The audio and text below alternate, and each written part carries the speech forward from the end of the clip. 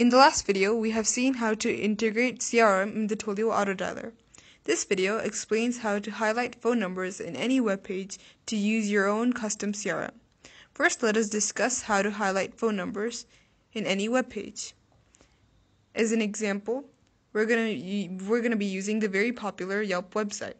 Go to Settings, Advanced Settings, and click CRM. Here, I'm going to give um, a CRM domain as yelp.com.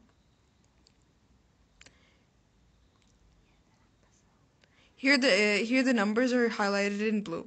If I click on the number, the call will automatically be generated.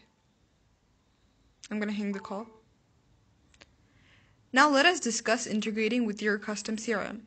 This requires some programming. Integrating with custom CRM gives you the added benefit of knowing the number of the caller and also the screen pop up to open the web page of the lead.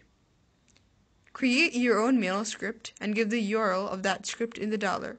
To give, go to Settings, Advanced Settings, click CRM Connection, and click and choose the manual script option. Now, here, give the CRL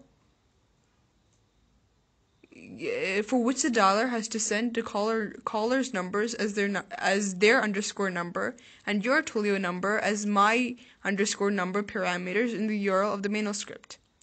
By passing these parameters, the script should give the response as a eh, as the URL, a name of the person in the JSON format like he, given here.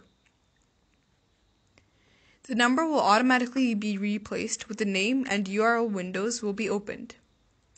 Now I'm going to make an incoming call to this dialer.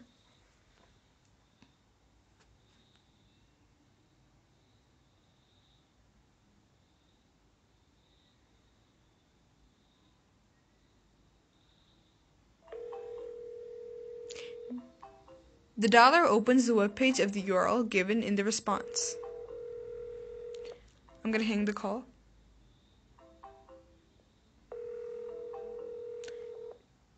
We can see the name as Nethram LLC.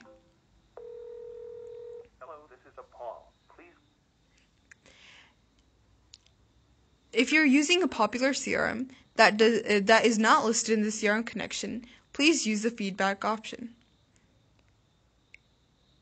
If there is sufficient interest, we will be adding support to your CRM.